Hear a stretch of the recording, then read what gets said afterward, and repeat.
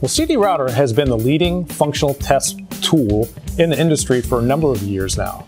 You can take any one of our thousands of test cases, put together a regression package, and really verify your device works as expected.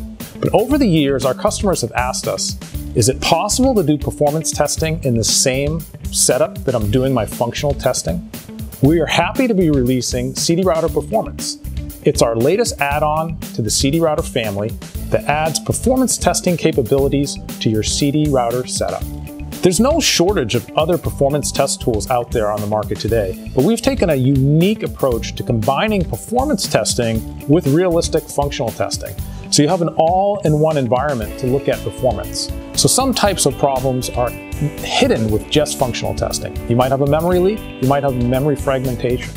It's something that isn't immediately obvious just running a, a functional test.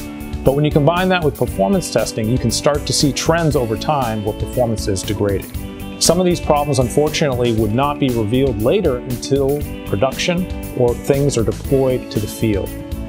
Our end goal at QA Cafe is to help customers deliver best of breed products. Our new CDRouter Performance add-on gives customers the ability to look at throughput and now realistic functional testing all in one package. This is an exciting new era in the CDRouter product family, and we look forward to working with customers to extend this capability.